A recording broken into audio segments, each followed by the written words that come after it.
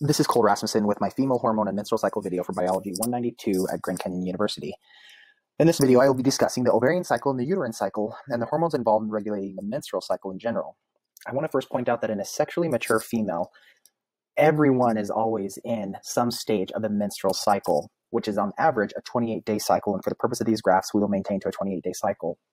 There's always something, the ovarian cycle refers to what is happening in the ovaries in preparation to release an egg for potential fertilization, and what is happening in the uterus to, in preparing to receive a, a, a fertilized egg, and the development that could then turn into an embryo or a fetus. Looking at the ovarian cycle, you can break it down into three phases the follicular phase, the ovatory phase, and the luteal phase. In the follicular or the uh, follicular phase, you have eggs that are developing that then move from a primordial phase follicle to a primary follicle, then to a secondary follicle, and, and you have these cells that are developing here on the outside that is going to then provide nourishment and growth for what is then the oocyte on the inside to continue to grow, to develop.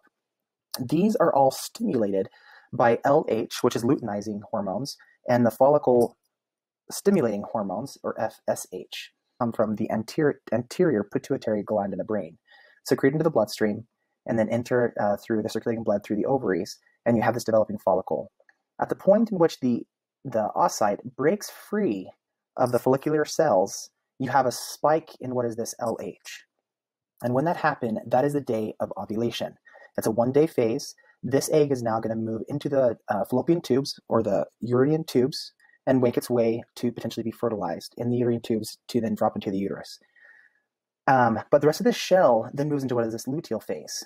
This uh, shell now is what's going to excrete um, estrogen and progesterone in females. And you can see the correlation on the day of ovulation, how at the spike of LH, you have a spike in the estrogen that then is working on preparing um, the uterus to potentially receive a fertilized egg to be able to give nourishment to uh, an egg if it's fertilized and then settles into the into the lining of the uterus. To finish up here first, though, in the luteal phase, you have um, it's this corpus luteum that is then going to secrete the hormones and the progesterone. And as it moves through its phase, um, your bo- the female body will then absorb these leftover tissues.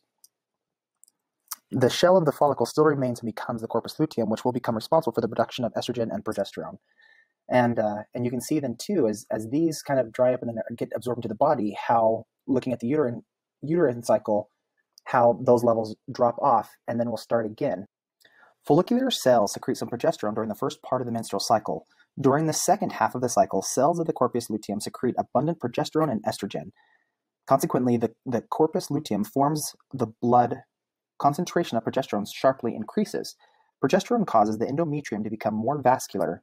It also stimulates the uterine glands to secrete more glycogen and loop lipids, um, bringing about the secretory phase, endometrial tissues fill with fluids containing nutrients and electrolytes, which provide a, a, a, favorable environment for an embryo development. High levels of estrogen and progesterone inhibit the release of LH and FSH from the anterior pituitary gland.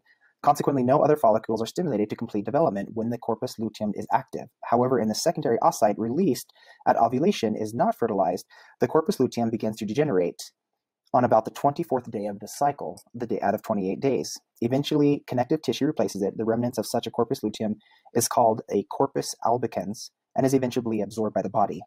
When the corpus luteum ceases to function, concentrations of estrogen and progesterone rapidly decline, and in response, blood vessels in the endometrium constrict. This reduces the supply of oxygen and nutrients to the thickening endometrium, and these lining tissues soon disintegrate and slough off.